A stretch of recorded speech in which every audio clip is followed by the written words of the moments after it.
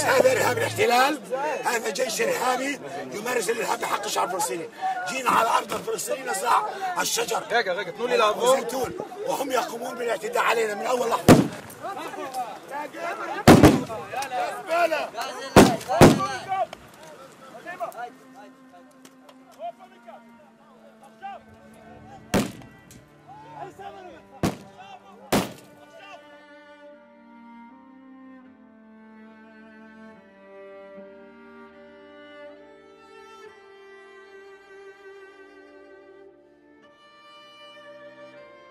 زياد أبو عين الذي نالت منه آلة القتل الإسرائيلية في العاشر من كانون الأول ديسمبر عام 2014 حفر اسمه بأحرف كبيرة وسط المشهد النضالي الفلسطيني وفي ذاكرة الشعب ليتحول إلى رمز من رموز الوطنية الفلسطينية إلى جانب القادة العظام في مسيرتنا النضالية الطويلة.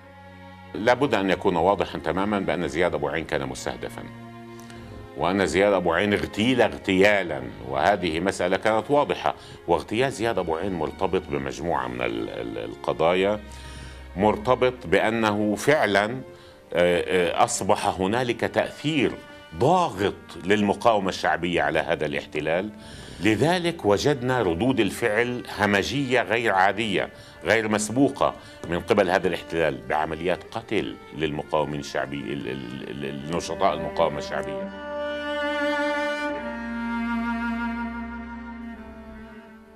ارتبط اسم هذا القائد الوطني ارتباطا وثيقا بالأرض والزيتون فهو لم يغادر الميدان ميدان المواجهة مع المحتل الإسرائيلي إلا شهيدا محمولا على الأكف. وفي سنواته الأخيرة كان يسابق الريح والزمن متنقلا بين مواقع الصمود والتصدي مواقع المواجهة الحقيقية مع الاحتلال متصدرا مشهد المقاومة الشعبية الباسلة.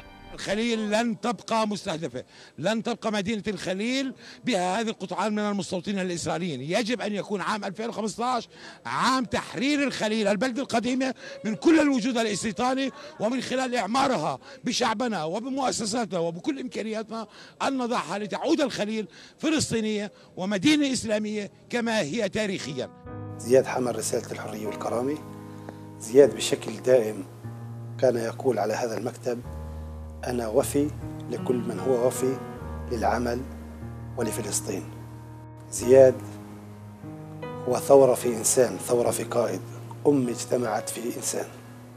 أنا بعتقد تجربتنا مع زياد كانت محفز إلنا إنه نحمل الرسالة بانتماء ووفاء. فدائما أنا بقول هو رحل زياد وهذه العواطف العظيمة يعني ما تفجرت بهذا الشكل في رحيل كثير ناس ولكن عند زياد تفجرت بشكل كبير جدا.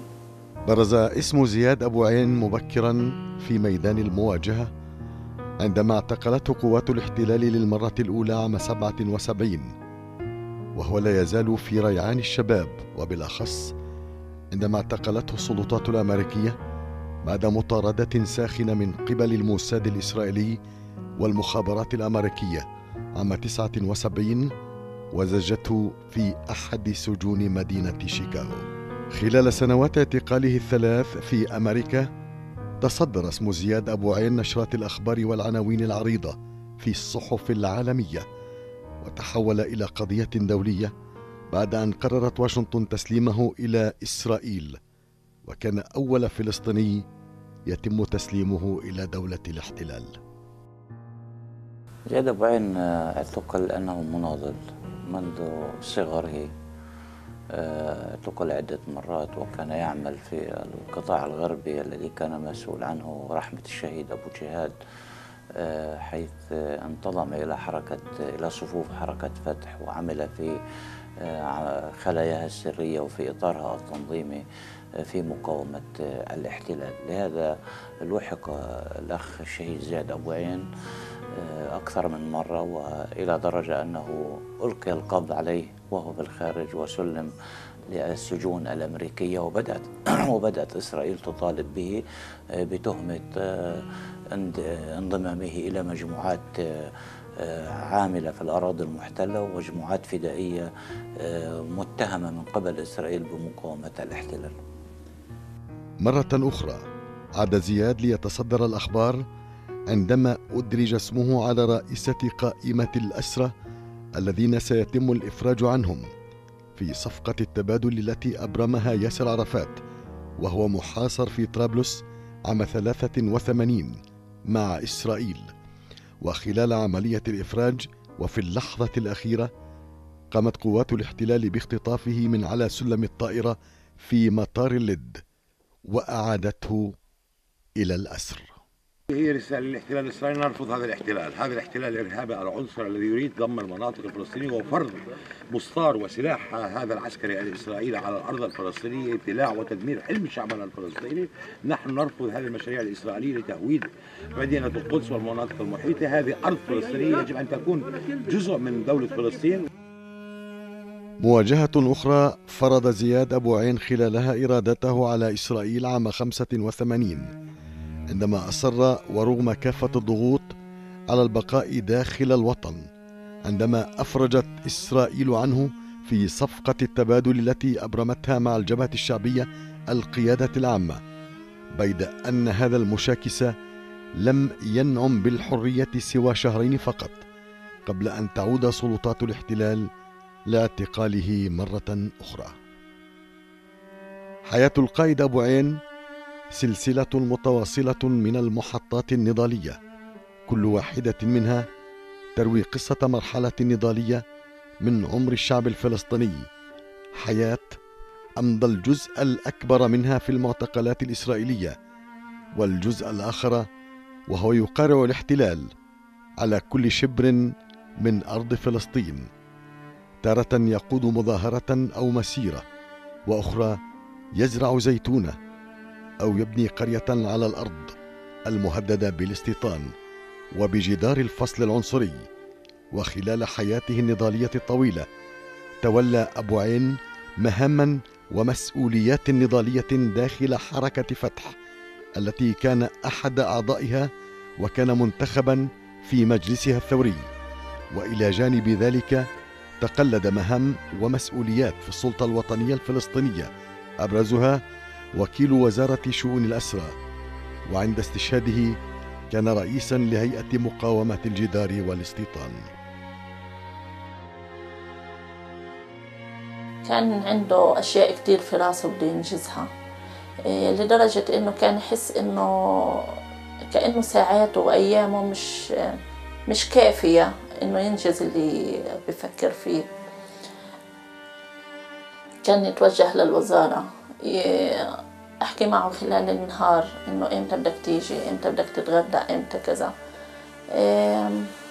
ما كان عنده جواب لإنه ما كان وقته مش إله. كان يفكر مخططات كثيرة كنت ناقش أنا وياه مخططات كيف كيف يتحول التعليم للشباب مجاني. إنه كيف تخفف هجرة الشباب يتعلموا برا. كيف مشاكل الجامعات اللي كل سنة بتحدث إنه نتيجة رفع أقساط التعليم وهذا. فكنا نناقش إنه ليش ما تكون الجامعات هاي تابعة إلها مناطق صناعية.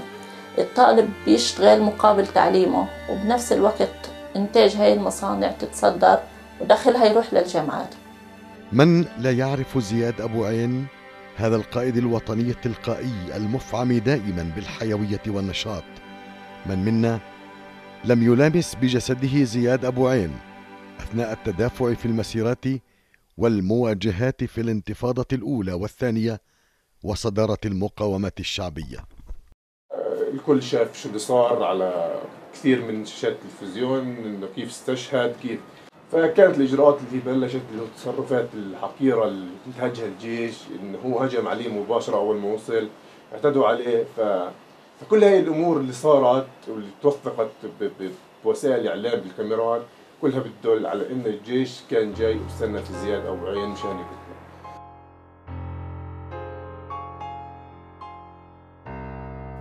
لو سألت الحجر لو سألت الشجر في ربوع فلسطين لنطقت باسم زياد أبو عين الذي جاءته الشهادة كما أرادها واشتهاها في الميدان وهو يزرع زيتونة في أرض فلسطين لتأكل منها أجيالنا القادمة. ولكن هذا الاحتلال الفاشي سيرحل وسننتصر الشعب الفلسطيني موطني موطني.